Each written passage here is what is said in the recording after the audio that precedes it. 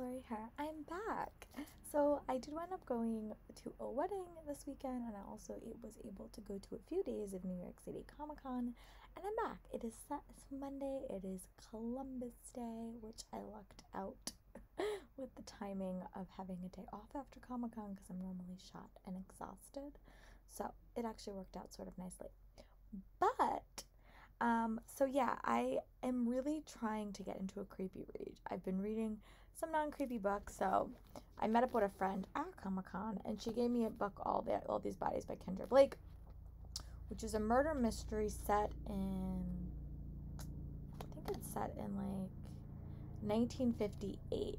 So it's really like compelling. It's a male lead character, which I don't normally read from a lot. I would say 80% of the books I read have female lead characters, but I really like this book quite a bit. My goal is to finish a majority of this book today. I'm also listening to The Wife Upstairs by Rachel Hawkins, which is a group read for my book club that I'm a part of on the TBR and Beyond reading group. So I think I'm going to do is I am going to go for a walk just to sort of like stretch my legs um, and try to make some more listening progress on that audiobook. Um, then I'm gonna come home and I'm gonna hopefully maybe even finish all these bodies. But yeah, so it was it was a very very nice weekend. It was I think I said this in my book call whenever that goes live. It definitely was different from any other con I've ever been to because I normally go to cons that are very very book focused.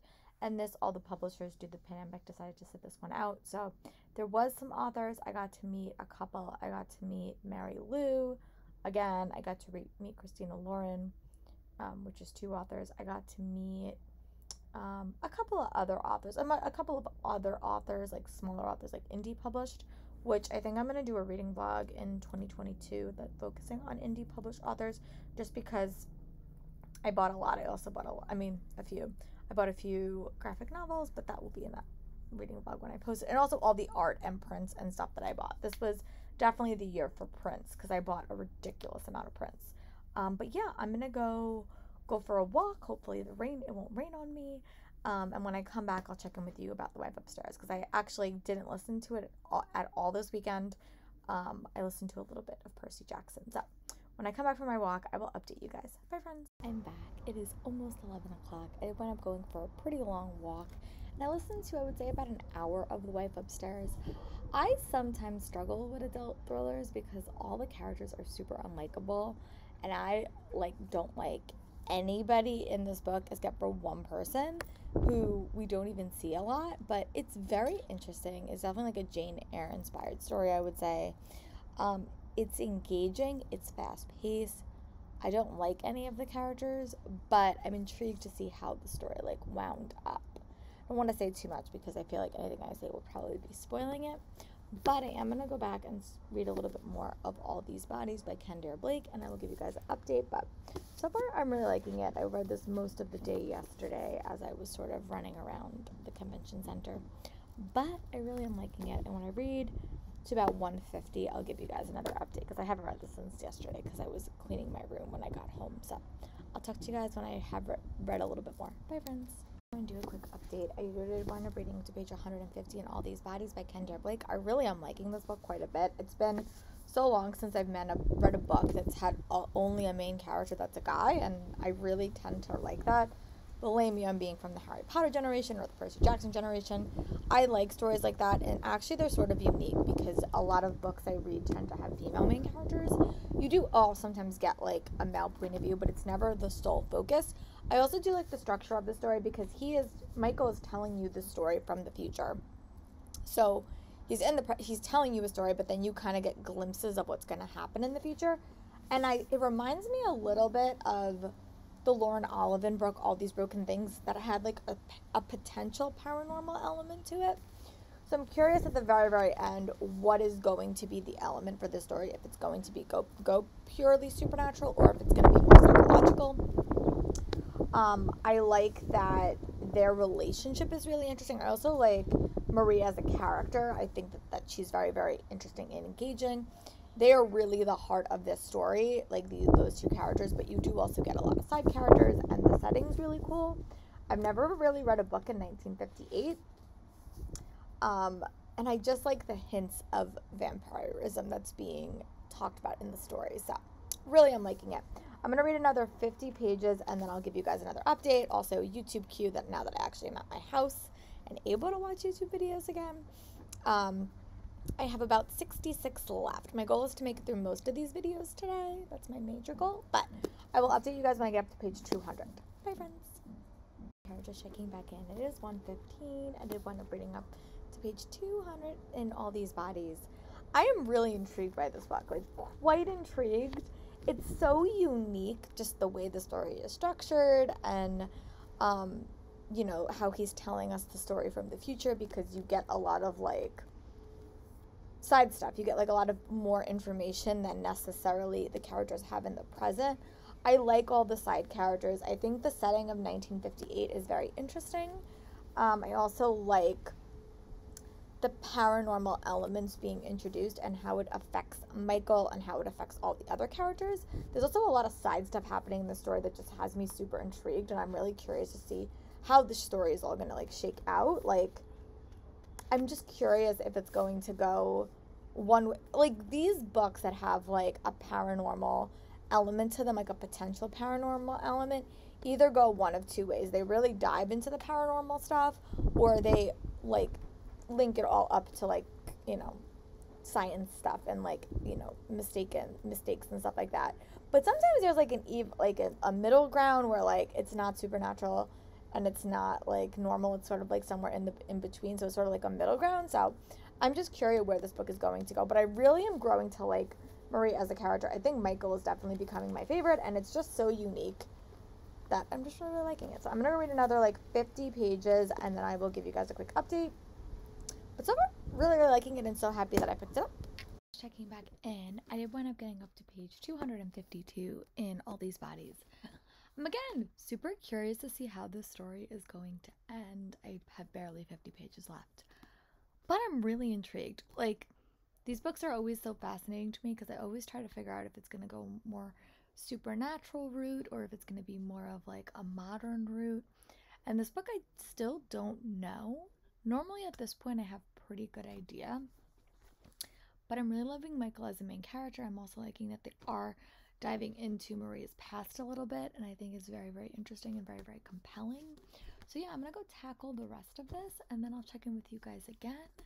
Um, but yeah, definitely a very, very quick read, one that like I didn't want to put down and very unique. So, this one also did fit for the black and white prompt on my TBR and Beyond reading board, which I'm really excited about. I didn't think I was going to have one for that one because I didn't put one in my TBR. But I'm super excited. So I'm going to go finish this. We'll give a check in and then we'll choose my next read. Bye, friends. Right here and back. I did want to say that I did wind up finishing All These Bodies by Kendare Blake. Overall, I really liked it.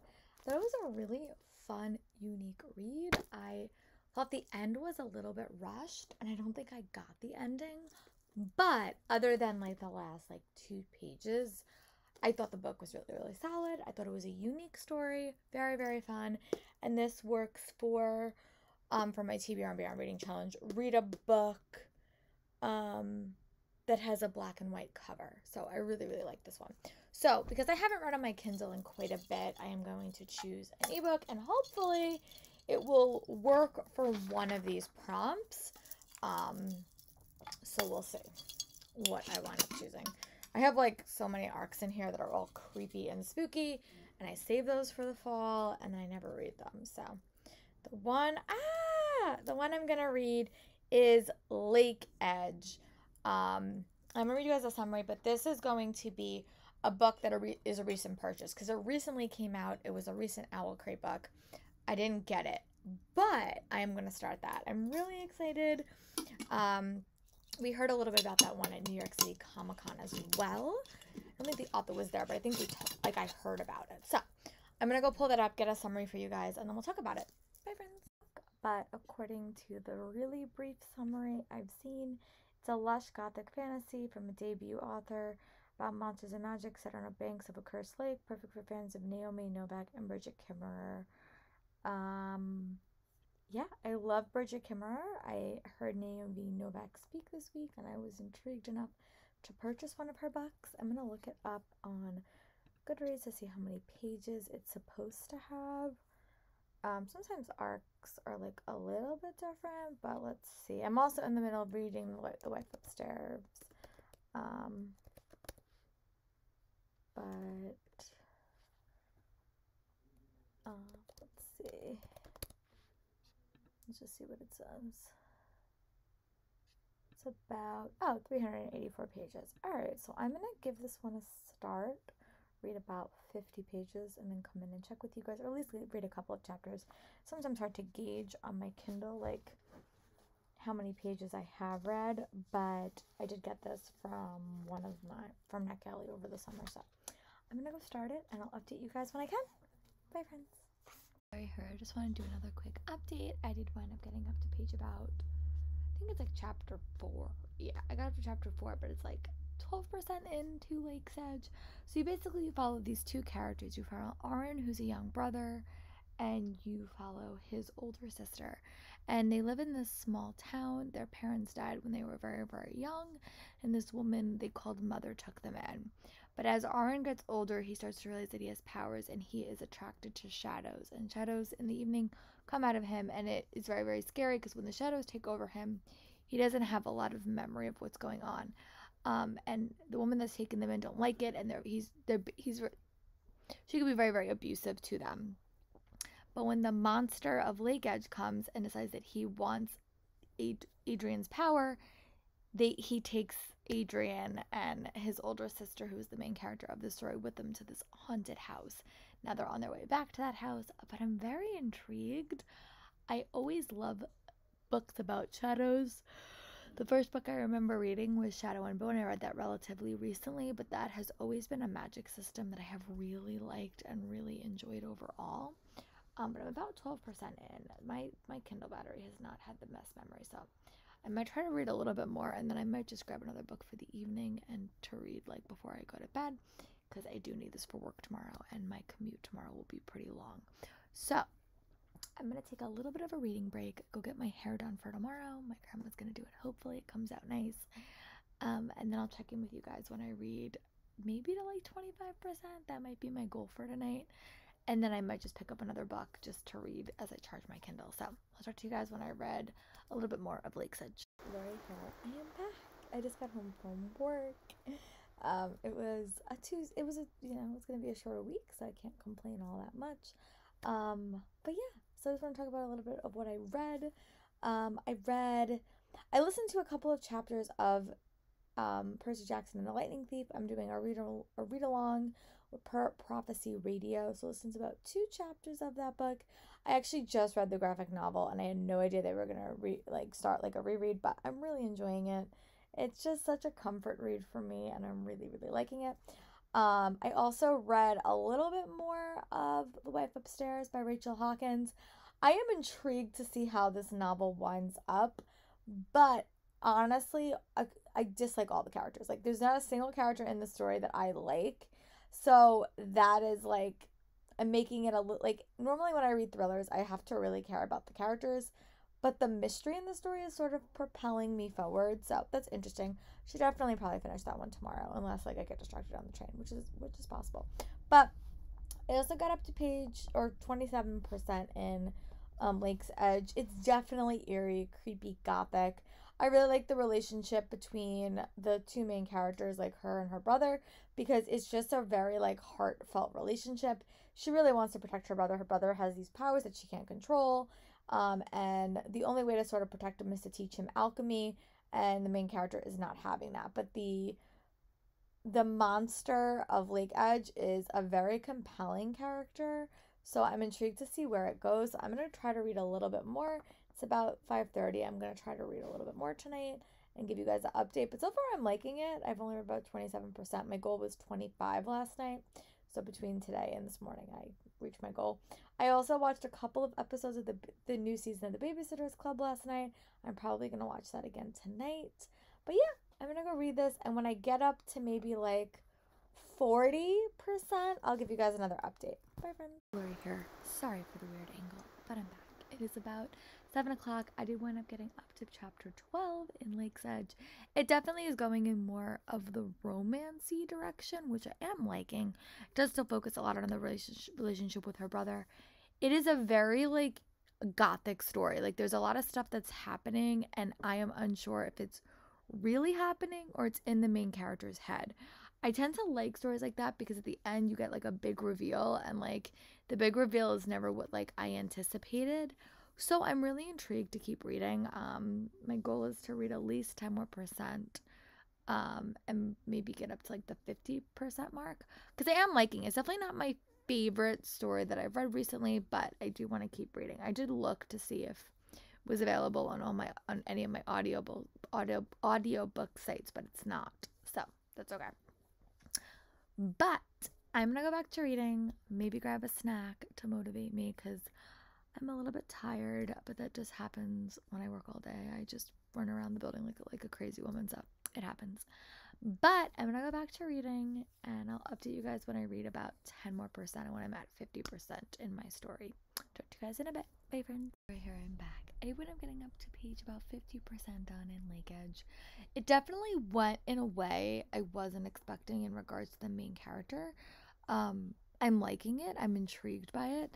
It's a little bit more predictable than I was expecting. I thought it was going to be a more unique novel, but it is a little bit more predictable YA fantasy.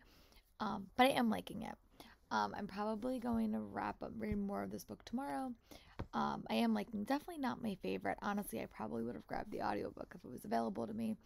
But I am I, I do like it. Um, I don't feel connected to most of the characters and there is a lot of characters in the story. I think my favorite is probably the the little brother I think he's like the most fun for me to read from, and he doesn't even have a point of view, but very, very enjoyable. So I will check in with you guys tomorrow when I come home from work. But I read about 50% of the story, which is exactly where I wanted to be. So I will update you guys tomorrow when I come home. I'm probably going to watch a little bit of Babysitter's Club um, and just sort of decompress. I've been trying to get better at my evening routine. Sometimes I'm really good at it, sometimes I sort of suck at it, but I will check in with you guys tomorrow. Bye, friends. Lori here. I just want to do a quick update. It is October 13th. I just got home from work. Um, I actually did have a pretty good reading day. I was able to finish The Wife Upstairs on my early, like to my, during my two school commute. I really don't know how I felt about that book. I thought it was a very fast paced thriller, but I didn't really like, like, any of the characters, like, at all. So it was really hard to feel like attachments to anyone because all of the characters were pretty like horrible people. Um, and it was interesting and compelling. Um, but it wasn't like a new favorite of mine. I also read The XX by the same author this month, and I did like that one a little bit better. But I enjoyed it. I just really, went with my thrillers, I need to really like the characters, and I just didn't find that in The Wife Upstairs by Rachel um by um Rachel Hawkins. So, but that's okay. It was a fun read. It fit for like one of the prompts on the Avengers reading board, and it also gave me um Sharon Carter because there were 13 parts to that book. So, which was cool. Um, but yeah, I'm gonna go. I, I, I also did make some reading progress on Lake Edge. I'm liking it. It's definitely not my favorite gothic fantasy read.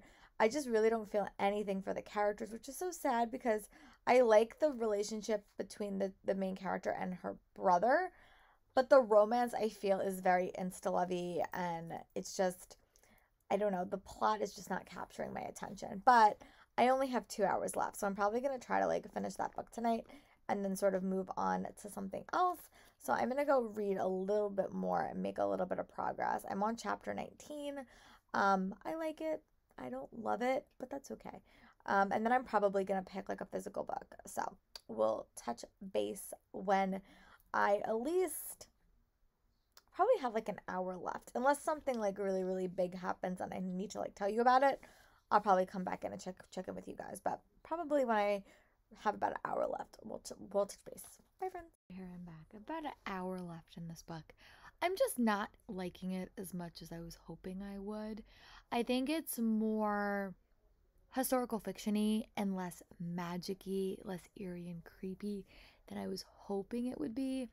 And I think that's where sort of I'm at. Like, I think the characters had the potential to be fun, but I, it just wasn't captured by the plot and the writing style wasn't capturing me.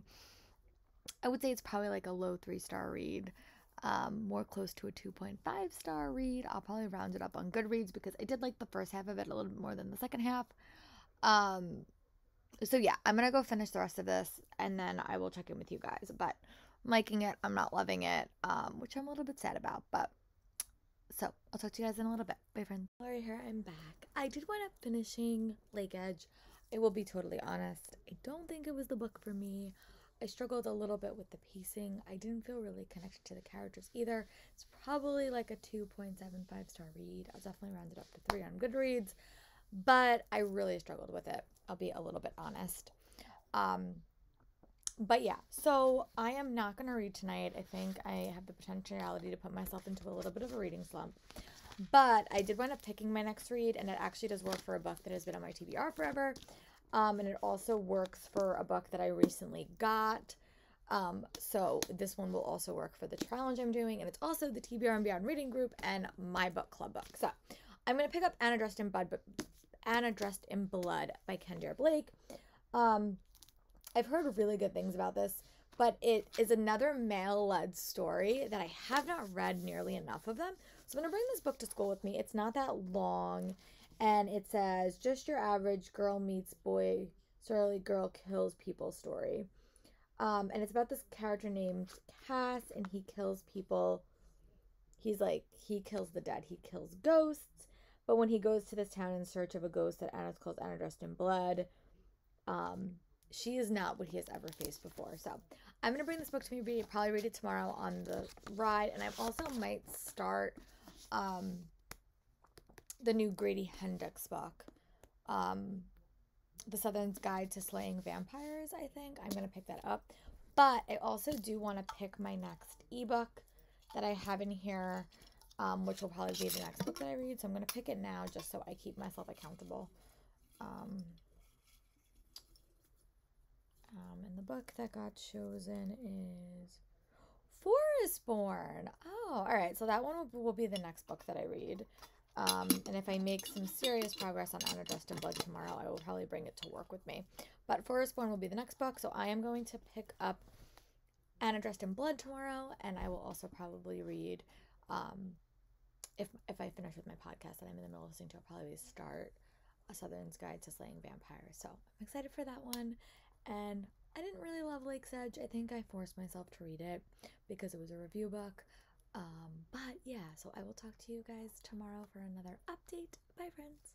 Lori here. I'm back. It's actually the next day. I didn't wind up updating last night um, because I was just really, really tired. But I did wind up finishing Lake Edge. I liked it. It definitely wasn't my favorite. I'll be honest. It was probably like a 2.75 star read for me. The book just did not capture me. And I think it just wasn't the eerie and creepy read I was really looking for. It was very, very romance heavy. It felt very insta lovey to me. Um, I really like the relationship between the main character and her brother. Um, I thought the house was interesting, but the, between the the plot that I didn't really care about and the characters that just didn't capture me as much as I liked the brother sister relationship, it was okay. I gave it 2.75 stars. I'll probably round it up to three on Goodreads when I do review it. I liked it. I didn't love it. Um, I spent most of the day listening to podcasts. I started um, a little bit of a new paranormal book. I think I actually might restart it because I was listening to it when I was like working out, and I feel like I got a little bit more distracted. But in exciting news, I did move on to Anna Dressed in Blood by Kendare Blake. I have really been liking her books. I've loved, I've read, I've liked everything I've read by her. This this month I read um, all your um, all the all the bodies, and I really like that. So this one is a, a, little bit different. I'm only like 38 pages in, so I'll probably give you a more concise update when I'm like 50 per, 50 pages in. But it follows this main character named Cass, and he kills the dead. He and his mom basically go around town or go around the country, and they basically kill dead people. Well, they like exterminate ghosts. Um, and he gets his interest is piqued on Anna dressed in blood, who is a ghost that is haunting this town and he has to come there to try to protect this town and get rid of Anna. It's a very very short read, and all I don't know if you guys could see it, but all the letters are in like red, and I really really like that. Um, it is really a ghost story, and I'm really liking it a lot so far. I've only read like 38 pages, but I'm quite fond of it to be honest with you.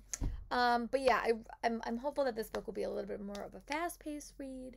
So I'm gonna go read a little bit and see if I can maybe hit the 100 page mark tonight. That's like a goal.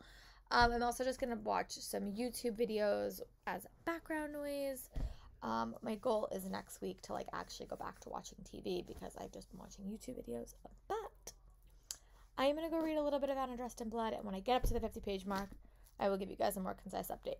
Bye, friends. I did wind up reading about 60 up to page 63 in Anna Dressed in Blood. I'm liking this book quite a bit. I so rarely read books from a male point of view, like, and I just like him. I like the ghost hunting element. I like that it feels a little bit more like old timey. Like, I wouldn't say it's like her book set in the 40s, but it just feels like a little bit older and I like that. It feels like a haunted story and I I just like it. And we're also slowly getting the pieces of Anna. We haven't met Anna yet, which I think is really interesting. I will admit, going into this book, I was sort of expecting a different structure from the story. I assumed the story was going to be from Anna's point of view, and currently it's not, and I'm intrigued by that, like right off the bat. It's a book that I really just want to read, um, but you know, but it's really, really good. I'm really liking it. Um, I'm gonna figure out my audiobook tomorrow. I started picking up one, but I might pick up another one. I don't know. But I am definitely gonna finish reading this. Hopefully make some more reading progress. Um, I don't have that long of a commute in the morning. I only have like a 30 minute commute and I run out of time pretty quickly. Um, so I will update you guys when I come home. I have to do some prep work tomorrow when I get home too um, because I'm going to see a musical this weekend. It's like musical central, so a lot of musicals. Um, but yeah, so I am going to go watch some Schitt's Creek or something maybe a little bit eerie and spooky. We will see, and I'll talk to you guys later. Bye. Friends. Lori here. I'm back. It is much later. It's Friday. It's nine o'clock. I did wind up doing a bit of filming, which I was happy with. Um, I'm also going to the city tomorrow to see Six the musical. Today was not the best teaching day. Fridays are always a little bit rough because the kids just want weekend and sometimes I don't get through everything. They get frustrated, I get frustrated. Um it wasn't a banner day of teaching, but that's okay. Um we're I think honestly, it's still an adjustment for everybody. Most of the kids I am teaching have been virtual for the past 2 years. So that's like a really really big learning curve for them and I think it's hard it's not always easy. I'm still adjusting to teaching in person because I taught mostly remote last year. I had, by the end of the year, I only had really one in person class for the whole year. Um, and that's hard for me as a teacher to like go from like teaching everything in person and then going remote. And even what I'm teaching now is not what I normally teach. So it's just, you know, it's also the start of the year and getting kids to perform is not always easy, especially in the times we're living in because they really haven't been around people for like two years. But I did want to say that I did wind up starting the Southern's Guide to Slaying Vampires. Um, I started that. I am enjoying it so far. Um, and then I also got up to page 100 and Anna Dressed in Blood, right off the bat, I'm loving the relationship between Anna and the main character in this story. I love it. I think this book is more set in like modern day, like modern day, probably when this book, when did this book originally come out? Because it seems dated, but like not dated in the way I thought it was going to be dated. So yeah, this book came out in 2011, so it's probably like around there, like when I was in college, it came out. So it does feel a little bit dated to me, but that's because I feel like it's not like a modern day story. And her writing style always reminds me of like mid like you know very very olden times, just the way Kendare Blake writes. Um, it's a much darker ghost story. Like it's very bloody and gory. Um, but I'm intrigued. So, um, normally I pass out at like 10 o'clock. I'm gonna try to stay up a little bit later. That's like my goal. I would love to get up to page like 150. We will see. But I'll update you guys tomorrow before I head into the city. Um, and we'll see what this reading vlog becomes. But I really just want to tackle some creepy reads. So I'll talk to you guys when I if I can update you guys again tonight. If not, I'll update you guys tomorrow. Bye friends, Lori here. I'm back. So I am here to report that I did have a fun day in the city. I definitely whenever I go to the city, I always spend like all day there just for convenience. But it was super fun. I also just finished reading Anna Dressed in Blood by Kendare Blake. I really enjoyed this book, like quite a bit. I thought it was a really, really fun story.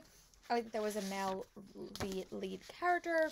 I like that it dealt with ghosting and haunted and a haunted house. Um, it was a super fun read. I don't think it was a book I was necessarily expecting going into it, but I really liked it. Probably give this one four stars for review. I'm probably gonna try to get to Girl in Nightmares soon, maybe like by the end of the by the end of the season or by the end of the year. But I really liked it. So I'm gonna wrap up this reading vlog, um, and this one's gonna kind of continue a trend. I'm gonna read a lot of old, some older paranormal series that I just never got around to, um, but I'll talk about that in my next reading vlog. Um, also, six was so fun. Definitely sort of like Anna Dressed in Blood. Not what I was necessarily expecting, but I really did like it. So I'm gonna go start that next reading vlog. Hopefully, actually get some reading done this week. I have just been so distracted by other things, so it's been hard for me to focus on reading. But hopefully that changes this week, and I will talk to you guys for my next video. Bye, friends.